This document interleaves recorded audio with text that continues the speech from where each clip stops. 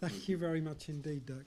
Um, let's get on to the discussion quickly. Um, and I'll take um, both comments and questions, but try and limit yourself to sort of one point each, not too long, so that we give um, plenty of people an opportunity to engage. So, who would like to kick off? Tom. Hi, thanks. Um, I just wanted to pick up um, points that the report raises on climate change. It wasn't uh, discussed too much, and but it's you know great to see that climate change is so front and centre within within the report and a recognition that this is an issue that very much changes the landscape. Um, however, I do think that the report focuses a little bit too heavily on reform of the LDCF. Um, the LDCF is a you know I think for, for people looking at the bigger climate finance picture is a very small part of that. Um, and has been, you know, pretty much hugely unsuccessful in attracting very large funding. Um, however, I think it's probably more of a function of where we are in the climate finance picture at the moment rather than necessarily a, a fault of the report, um, given that the advisory group on finance uh, reported on how to raise $100 billion a year um, only you know, 10 days or so ago. Um, but I think what we have learnt from that, and what I think least developed countries are probably learning from that, is that the opportunities related to private finance flows are going to be considerable. And the uh, finance flows outside the UNFCCC architecture uh, are likely to continue to be very large. Um, but very interestingly, from last week, the the um, presentation by Nick Stern um, that was given at the Andrew Mitchell talk on climate and development mentioned the opening of an African Green Fund uh, window and the possibility of an African Green Fund to complement the Copenhagen Green Fund. And I think this will be on the table in Cancun. So my real my, my question here is what what do you think the impact would be of having a um, unified uh, green fund that would cover you know large majorities of, of least developed countries, um, as well as marrying that to to to private finance flows. Okay, thanks very much, Tom. Um, other questions? Please introduce yourself and comments. Joe Hanlon, um, writer on Mozambique. I've used Charles' reports in much of what I've been writing, and of course, see the same story come up again and again. And so that's my question is, is anyone listening? Um, I write on Mozambique where the IMF, for instance, is actually trying to close down domestic investment by pushing up interest rates, by requiring much larger reserves, where any attempt by the government to get involved in supporting productive sectors is stepped on really hard by the donor community, led by DFID. Um, is anybody listening? Thank you very much, Joe. Hi, thank you. Um, my name's Helen Hawthorne. Um, I had a couple of questions I wanted to ask, just for kind of clarification, really. Um, you mentioned that the report focuses on country ownership and the importance of it, but from kind of the readings that I've done on the LDC conferences, what was different about them was the fact that they encouraged country ownership from the beginning, and the countries were involved in their development plans um, and presented those to all of the um, LDC conferences. So, just wondered if you could say what was, you know, what was different about this, how you were going to, um, how you envisaged country ownership being different this time. And the other point that I wanted to ask was about, um, you mentioned the Brussels Programme of Action, and one of the things that that was to be judged on was the graduation of LDCs. Um, and um, only Cap Verde has graduated out of the category in this decade. So how does the um, this new uh, international development architecture deal with the issue of graduation going forward? Thank you. So Thank you. not only do we have someone who's read the Brussels Programme of Action, but I have a question on it as well. All those three are for you, Charles, maybe, if you can. Do you want to take those three? Yeah, okay. Um, in, in, doing the report, you know, we had to, uh, I'm, I'm, on the climate change one now. In doing the report, we had to kind of get a balance between the LDC specificity and the, and the global, you know, global changes. And um, you know, we, we actually have a, a long background paper which should be published, uh, you know, today when it's launched, which includes a, a very long discussion on the um, global architecture. Um, now, uh, you know, our judgment was, you know, we, sh- we should, uh, you know, focus more on the LDC specificity there. Um, but you'll see in this background paper, you'll see a longer discussion on that, which is actually very critical about the sufficiency and the adequacy of this, uh, the suffi- sufficiency of funds and the adequacy.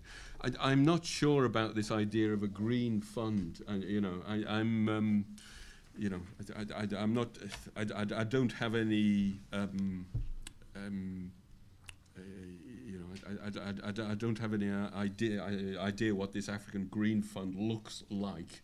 Um, you, you know, in general, vertical funds can be counterproductive. Um, eh, th they kind of highlight the issue, but then you know they, it it it, um, it, it, it kind of um, disarticulates the kind of policy coherence at the at the country level. So it, it's a question of how it works.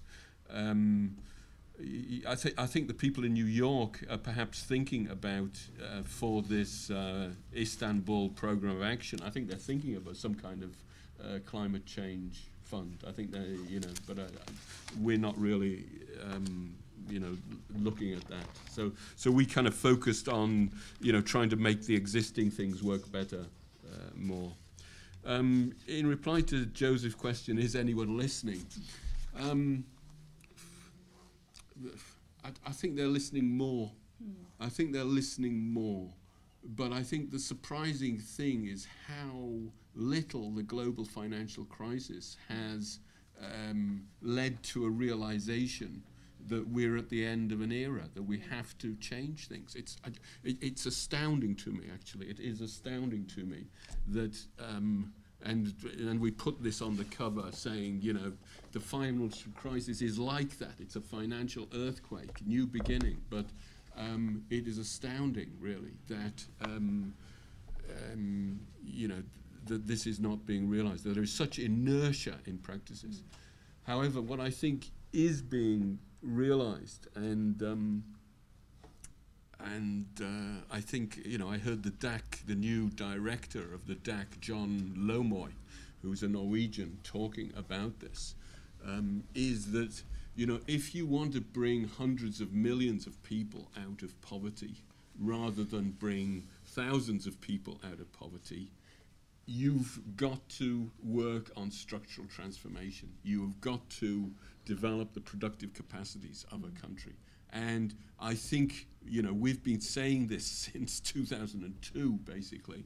And, you know, we actually did the first, you know, assessment of the PRSP process in 2000, the 2000 report, when we said it wasn't focused on growth sufficiently um, in 2000.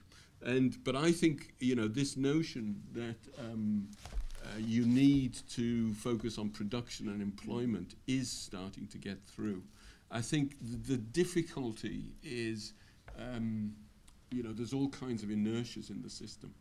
And what we've got in this pro our proposals, I think they're a mix of actionable things and more utopian things. You know, the actionable things, you know, and I'll come to ownership. You know, th there are actionable things like the, the, the donors can start moving more aid into production sectors and infrastructure. That's easily actionable you know. But things like taxing commodity derivatives, you know, mm. getting agreement on this, you know, contingency financing, from what uh, mm. Stephany is saying, is now actionable, I would say, and you probably can get movement on that. It should probably not be an LDC specific thing, but it would help LDCs very much if you, we got mm-hmm. the the, the, the, the kind of things you were mm. saying, up to scale, non-conditionality.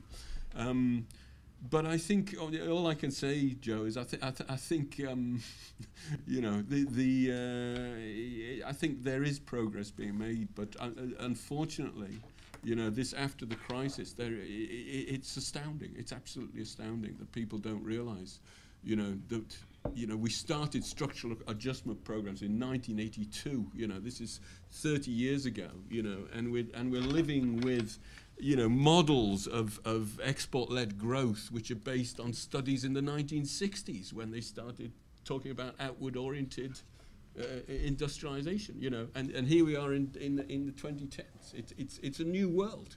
And the climate change is part of the new world. You know, China and India are part of the new world. But, you know, the, the um, you know, how this will be inscribed in the Istanbul program, I don't know. When we get to country ownership, um, how will it be different? I, I, we, UNCTAD is not managing the, the um, UNLDC4 process. There is an office in New York which is, is, is, uh, is, is managing it. Um, they haven't got, I, I, don't, I don't think they've got country development strategies out of it, but they had regional meetings. Uh, when I was talking about country ownership, I, I, was more thinking of it not as an LDC specific issue, but rather as a, um, a, a, an aspect of the global economic regime. And the point there is, uh, it's it was made in the last report rather than this report, but um, the point there is that the donors in the Paris de Declaration are not monitoring uh, country ownership in terms of national leadership. They monitor country ownership in terms of whether the countries put in place the financial mechanisms mm. through which you can account for the use of aid and whether they are, are putting in their targets related to global targets, i.e. MDGs. And this is, this is country ownership. You know, country ownership is national leadership. They say in the Paris Declaration, country ownership is national leadership, but they don't monitor it. Okay, and so it's a kind of simple, it's a kind of simple thing. Now, in terms of graduation of uh, of LDCs, um, you know, the whole architecture we say is one of the goals of the architecture is to kind of facilitate um, graduation of LDCs, which we think will occur um, um through a focused on these inc more inclusive development paths. We think that will occur. Thank you very much. I want to go for one, one more round and then I'll go across the yeah. panel after that. A couple of quick comments. One is um, you can think of counter-cyclicality at the, in terms of things reaching the country, but also in terms of what reaches people on the ground mm. who are suffering. And those are two very different issues in terms of delivery. But anyway, let's take another three. Sheila. Thank you. Uh, Sheila Page, ODI. On the question of architecture, you started with the defense of LDCs as a category, and I wanted to take you up on that.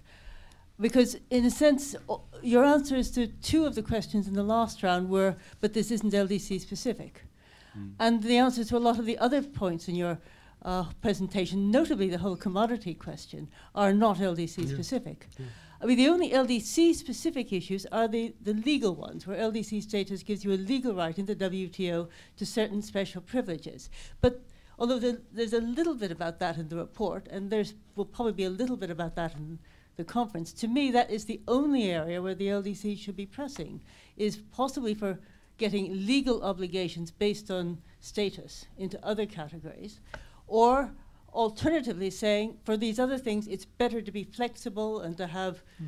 problem related categories but you seem to be trying to have it both ways and i yeah. don't quite see what the point is of ldcs on a lot of your issues mm. interesting point adrian quickly and then we'll go over to this yeah thanks um, um, andy very quickly adrian hewitt odi um, on just on um, charles's last point i mean graduation only happens if you do it and they did finally seize the nettle and do it when you know Cape Verde started advertising properties in the Sunday Times, literally.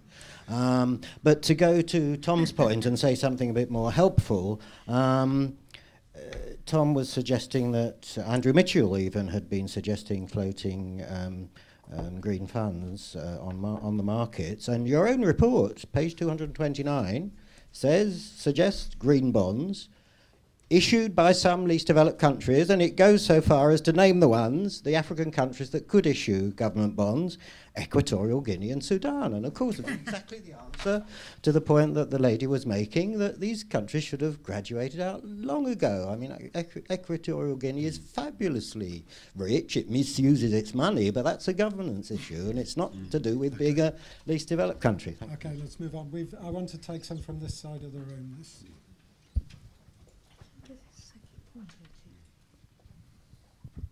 Hi, um, my name is Shemi. I'm an international researcher from currently at Barclay. Uh, just a couple of simple questions. Um, th there has been a recognition by the panel that uh, the um, pillar of the capitalist system, which is the financial system, has collapsed. um, and also that the throughout this period the uh, LDCs have been resilient. So a couple of questions: Why is that? And secondly, if that's the case, why are we imposing this model on uh, of a failed system on developing countries? And just another question: um, How much of uh, of an input from low developing countries goes in these reports, uh, or is it just another sort of diktat uh, that may turn out to be what like the structural adjustment programs? Thank you. Okay, thank you very much. Um, one last question, and then we'll see if we've got any on the internet. Yeah, thank you very much. My name is Kimiaki Jin from uh, Japan International Cooperation Agency, and my question is related to this five agenda for action. I mean, the technology well, uh, you said that uh, technology is a relatively new concept, but how, how, do you describe the difference between the conventional technical cooperation and uh, this uh, technology issues? Is my question. Yeah. Have we got anything on the internet, Liam? Any? Uh, yeah, we've got a few on the internet. um, the first one from Clifford Headley, a development consultant in the UK. He says, uh, given that aid flows primarily through the structures Sorry? of the state.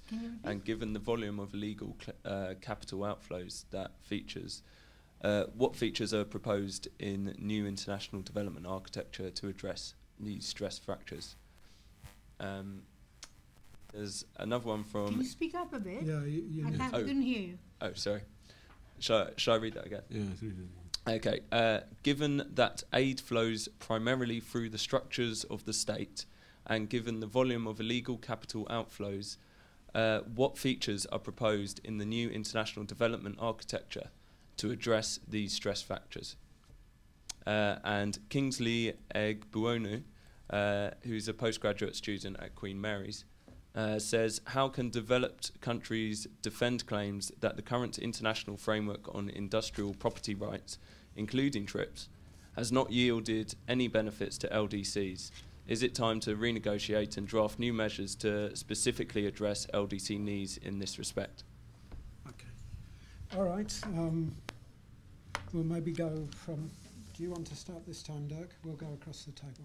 Um, I think most of the questions were actually to Charles. Yeah, yeah. yeah. yeah. So. I mean, the, the one thing that I suppose is uh, that I'd like to highlight is the the country focus, I think, which is very, uh, which remains very important. And I think you, you've done it before in other reports, perhaps, Charles, in the, the previous reports mm. more um, but at the, the, starting point has to be the developing country policies, what they want um, and, uh, and, and need, and um, and in particular, so the, the, growth policies that they like to uh, to pursue, and um, and then to provide us uh, the support for that. I think that is uh, that's good. And those are highly heterogeneous needs. And so we you've got Bangladesh, which is different from Haiti, which is different from Uganda, which is different from Lesotho, and they all need different different uh, sports. I think the one thing that piece that is is, is is important. The next piece is how do you sort of relate what is an option uh, on offer, what are the, the, the, menu of options, the ingredients, and uh, and then how do do the um, uh, can the country the countries themselves um, uh, get access to that and and turn it into sort of they're the cooks and then have their own recipes uh, and take the ingredients basically, rather than the other way around. Yeah. Um, Stephany, do you want to go next? I'm going to yeah, with thank Charles. you. Yeah, I wanted first to comment actually on something that, that Dirk had said earlier, and it's this issue of um, attracting more private business and developing business in, in, in the poorest countries. I mean, there is one level at which I very much agree, which is, for example, how, and this links up also with the question on, on the green funds. Uh, how does, there is actually a lot of long-term money in the world. There is a lot of pension fund money, insurance money, and there's now money in the sovereign wealth funds, which are actually mainly developing, so-called developing countries. It's China, it's Singapore, Saudi Arabia, and so on. Uh, also countries like Norway. So how do you, these people have, for uh, the clearest example, the Norwegian pension fund, which has a lot of billions of dollars, which they don't need at the moment, they will need for their future generations' pensions. And therefore, that is the kind of long term money that we would need for investment in infrastructure, in investment in clean energy, and so on. And of course, this uh, very inappropriate private financial system that we have is very bad at, at kind of recycling from these long term funds to these long term needs. And I was actually at a very interesting conference of sovereign wealth funds at Columbia, and, and that was one of the central subjects of discussion how you could change the even the incentives, how people get paid, and so. How maybe the channeling could be done directly from sovereign wealth funds and pension funds to, to these long term needs without going through the kind of fund managers, which will make it all three months. Uh, speculative and so on, which will then not be useful for development or for anything else but just for them to make money. So I think that is a really important issue uh, from a development perspective and from a climate change perspective because the money is actually there. And it's just a question of getting the, the mechanisms for channeling it right and getting it away from this kind of broadly perverse private financial system. And that's where perhaps I have some disagreement with Dirk because he said that, I mean, I, don't think any money is good, any private money is good. Because at the moment, actually, as I said before, uh, there's a lot of money being printed in the developed world, and and it's going to developing countries through the carry trade because they have higher interest rates. So countries like Uganda are actually desperate. They're getting so much portfolio investments to fund their government debt that they they don't want it. They're all studying Chilean capital controls. Hmm. Um, and and and the Asian countries are desperate. And, and if they close mm-hmm. down one route, they come in through derivatives. So th- there is that issue of how you deal with hot money, um, mm-hmm. which is also to prevent that we have another crisis three or four years in the developing countries, which is like the last thing we want. Secondly, I just wanted to to build a little bit on what, what Charles said. I think it's very true what he said that that answering your question, what you know, how slow the response, how much inertia there is in amongst the economics profession, amongst the policymakers. I mean, there was, I think, a very positive reaction at the beginning. There was a sort of very Keynesian response, both in the macro policies of developed countries, in, in the policy space they opened to developing countries, and which some of them just took, like the Chinese. Um, in the um, in the support which the international community institution like the bank and the fund gave. But now I think it's quite scary because there's a step back, and particularly in Europe, you know, there is mm. this pressured by the markets and by some very conservative governments, I would say, particularly the German one. Uh, there, there is a step back as if all this Keynesianism has been forgotten, and there's this very conservative fiscal attitude, which I think will, will lead to a sharp slowdown uh, in Europe. Stephany, thank you very much. Just a, a quick comment, which is there was actually a oh, huge. Oh, I had one more sentence. Can I just allow yeah. one more sentence? And one concern that I have, which I'm not sure whether I'm, I'm, I am justified or not, is that this increased fiscal conservatism, which is spreading in Europe and also in the United States, actually, with the new Republican Congress, doesn't spread through the international institutions, isn't imposed again on, on developing countries, because that, that, that could be even mm. more serious. Mm. It's interesting, there was actually a huge swing in IBRD lending in the bank towards the productive sectors over the last four to five years. So uh, it's not true that there's been no reaction on that. Okay. Um, figures are quite striking. I mean, a huge shift into that area, and it's interesting it was middle income mm. mostly rather than IDA. But anyway, yeah. Char yeah. Charles, um, we're running over slightly. Yeah. Apologies for that. But Charles, okay. there's plenty for you to. Okay. Well, on, so. if I can uh, just clarify um, um, the, the, the Dirk's point, um, I, I, think on on um, the starting point for everything of the whole architecture is that the countries themselves take the lead in the design of their development strategies. That's, I think that's the starting point. Mm. We don't talk very much in this report about national policies because the last report was entitled The State mm. and Development Governance, and that was essentially looking at the national policies. But the starting point is uh, the, the, the countries themselves um, uh, design you know, their own uh, uh, development strategies. And our colleague over there asked how much input do we get from developing countries. Well, um, we've kind of uh, discussed our ideas with, um, you know, in, in, various dissemination workshops in, in LDCs. Um, and um, essentially, you know, they're very much in favor of our focus on production and employment. Um, what they uh, you know are concerned about is how you do this, and and this is this is the point where uh, you know disagreements are starting. But I'd like to you know clarify we we we the, the base of the whole thing is developing developing country ownership, LDC ownership, and also um, we do believe in investment as being the heart of the process, as well as innovation and diversification out of commodities. Um, in relation to Sheila's question, I think this is, um, you know, a critical issue. What's the balance between the global economic regimes and the LDC-specific uh, support mechanisms? The, the LDC-specific support mechanisms, if you like, can be seen as a form of affirmative action for the poorest countries that it, that it's it's like a it's it's like a form of a, affirmative action which is near required for the poorest members of the international community. Um, you, we are we're arguing that. Um, and this is partly the political context of the conference. The LDCs themselves are focusing specifically on that, and, and we're saying that that's not enough in some sense. You've got to put it within the context of these global economic regimes. But we do believe that some forms of affirmative action are necessary, as well as the reforms in the global economic regime. And we also would argue that they have to go beyond legal rights. I think um, you need finance and institutions related to the legal rights in order to uh, make a difference. Um, Adrian is talking about the graduation issue, and I think this is important because um, I, I, I, sense from both of you that you're skeptical of the LDCs as a category. Um, and I think I, you know, I believe in the category, but I think there are perhaps classification issues in relation to who's in and who's out.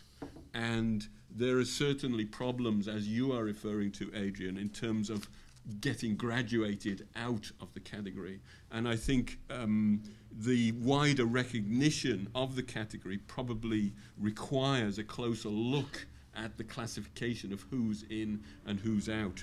But um, in my view, that the you know the, it, it's a it's a kind of marginal issue. There are a few cases, and they're kind of horrific cases, as you as you mentioned. But I, I, I you know I, I wouldn't see it as as um, as, as undermining the idea of, uh, of the category of a set of countries, um, you know, which are, uh, have structural weaknesses which mean they lag behind. There's, there's a very good book by Patrick Guillaumont which is looking at this issue uh, in, in some detail. Um, JICA, what's the difference between technical cooperation and, and technology? When we talk about technology, we're, we're thinking about um, how does the international community support uh, technological upgrading at the enterprise level.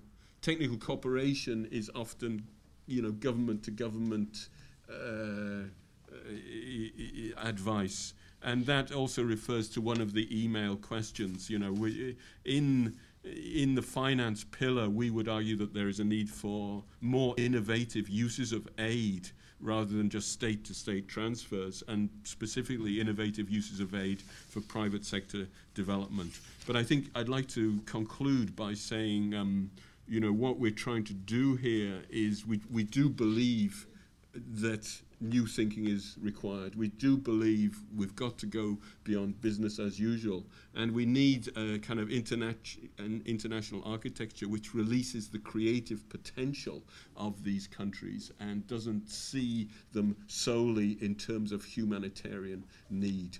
And uh, this, we believe, um, requires um, changes in global economic regimes, but also uh, a, an improvement of existing uh, international support measures and in indeed the introduction of a new generation of, of international support mechanisms for LDCs focused more on productive capacities. Thank, Thank you, you very much. Interesting. I think the theme of um, resistance and inertia suggests that any new architecture will have to come about by stealth. but, uh, but thank you all very much, in particular thanks to the panel.